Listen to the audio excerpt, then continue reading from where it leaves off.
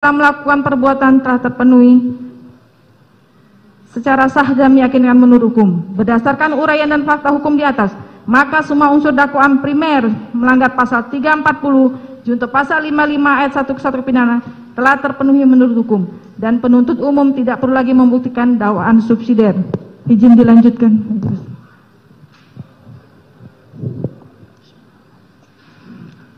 Kesimpulan dan materi tuntutan pidana. Majelis Hakim yang terhormat, tim penasihat hukum yang kami hormati, dan pengunjung sidang yang kami hormati. Kesimpulan, dari uraian-uraian tersebut di atas, maka kami penuntut umum berkesimpulan bahwa perbuatan terdakwa Putri Chandrawati telah terbukti secara sah dan meyakinkan serta telah memenuhi rumusan-rumusan perbuatan pidana pembunuhan berencana sebagaimana yang telah didakwakan dalam dakwaan pasal 340 KUHP junto pasal 55 ayat 1 ke 1 KUHP bahwa sepanjang pemeriksaan di persidangan telah didapat fakta-fakta kesalahan terdakwa kemudian dari fakta-fakta tersebut tidak terdapat adanya hal-hal yang dapat membebaskan terdakwa dari pertanggungjawaban pidana ataupun tidak ditemukan adanya alasan-alasan pemaaf maupun alasan-alasan pembenar atas perbuatan terdakwa. Oleh sebab itu terhadap perbuatan terdakwa tersebut maka terdakwa wajib mempertanggungjawabkan dan untuk itu terdakwa harus dijatuhi hukuman yang setimpal dengan perbuatannya. Materi tuntutan pidana. Sebelum kami sampai pada tuntutan pidana atas diri terdakwa kami selaku jaksa penuntut umum dalam perkara ini wajib pula mempertimbangkan hal-hal yang kami jadikan sebagai pertimbangan mengajukan tuntutan pidana yaitu hal-hal yang memberatkan. Perbuatan terdakwa mengakibatkan hilangnya nyawa korban Nofriansa Joshua Huta Barat dan duka yang mendalam bagi keluarganya. Terdakwa berbelit-belit dan tidak mengakui perbuatannya dan memberikan keterangan di persidangan dan terdakwa tidak menyesali perbuatannya akibat perbuatan terdakwa menimbulkan keresahan dan kegaduhan yang meluas di masyarakat. Hal-hal yang meringankan terdakwa belum pernah dihukum terdakwa sopan di dalam persidangan. Berdasarkan uraian-uraian tersebut di atas maka kami penuntut umum dalam perkara ini, perkara ini menuntut supaya majelis hakim pengadilan negeri Jakarta Selatan yang memeriksa dan mengadili perkara ini memutuskan. Satu menyatakan terdakwa Putri Chandrawati terbukti bersalah melakukan tindak pidana turut serta melakukan per, melakukan pembunuhan yang yang direncanakan terlebih dahulu sebagaimana diatur dan diancam pidana dalam dakwaan primer pasal 340 junto pasal 55 ayat 1 ke 1 KUHP. Dua, menjatuhkan pidana terhadap terdakwa Putri Chandrawati dengan pidana penjara selama 8 tahun, dipotong masa tahanan dengan perintah terdakwa tetap ditahan. Tiga, menyatakan barang bukti berupa dari poin A sampai dengan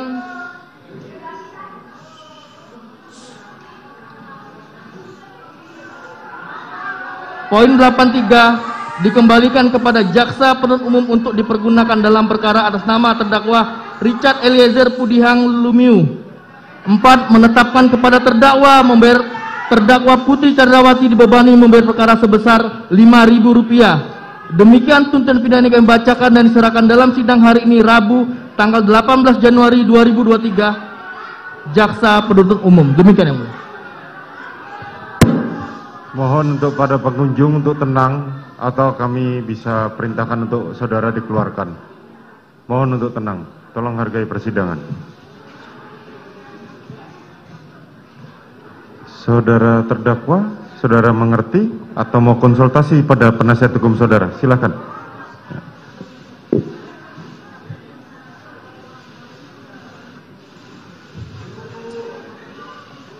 Mohon untuk tidak ada komentar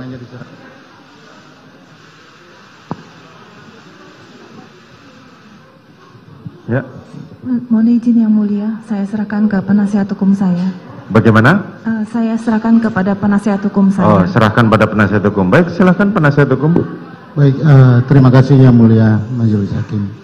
Eh, untuk eh, menanggapi requisitor atau tuntutan dari saudara jaksa penuntut umum, kami mohon diberikan waktu untuk mengajukan nota pembelaan baik pledoi pribadi dari terdakwa maupun pledoi dari penasihat hukum. Baik. Terima kasih.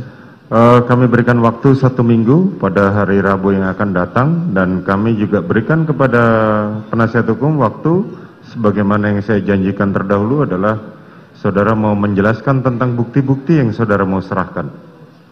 Izin Gitu. yang mulia, eh, Hah?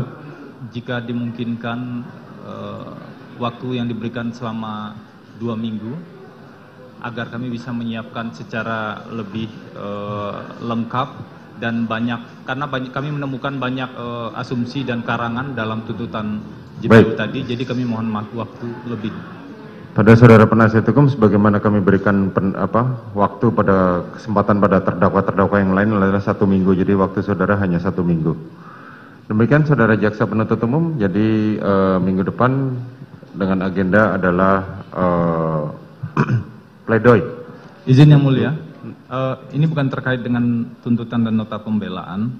Kami izin kami juga menyampaikan satu surat. Sebelumnya sudah disampaikan eh, surat tertanggal 16 Januari 2023 kepada eh, yang terhormat Majelis Hakim eh, perkara ini karena ada kekhawatiran dan kondisi psikologis eh, Bu Putri yang eh, kami pandang eh, perlu pendampingan psikolog. Kami sudah mengajukan surat pada majelis hakim dan sudah diterima pada 16 Januari 2023 yang intinya eh, meminta izin dari majelis hakim agar eh, dibuat penetapan atau diperintahkan agar kami bisa membawa psikolog eh, atau psikiater untuk melakukan pemeriksaan dan mendampingi Ibu Putri di rutan. Ini perlu kami ajukan karena sebelumnya kami sudah membawa psikolog ke rutan tapi ditolak dengan alasan eh, belum ada penetapan dari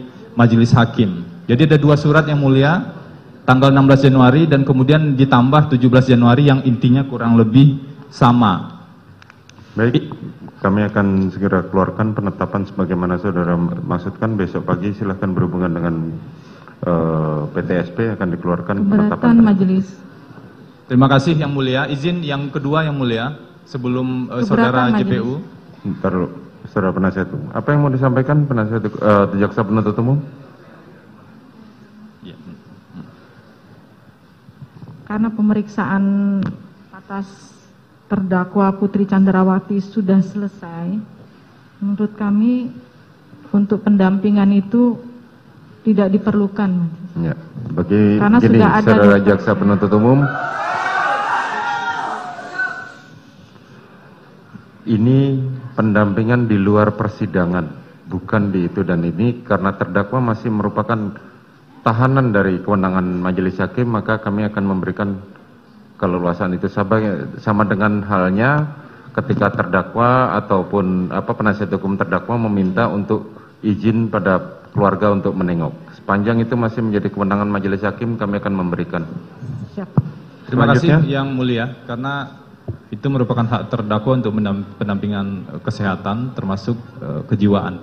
Yang kedua, eh, kami juga menyampaikan informasi sebelumnya tanggal 17 Oktober 2022 kami sudah menyampaikan surat pada pihak kejaksaan untuk meminta hasil pemeriksaan psikiater terhadap Bu Putri Chandrawati. Jadi sudah pernah ada pemeriksaan psikiater sebelumnya di bulan eh, Oktober meskipun sangat terbatas dan sesuai dengan hak eh, Bu Putri Chandrawati untuk mendapatkan informasi hasil pemeriksaan terhadap dirinya maka kami mengajukan permintaan tersebut. Sampai hari ini dari tanggal 17 Oktober 2022 kami tidak pernah mendapatkan hasil pemeriksaan tersebut.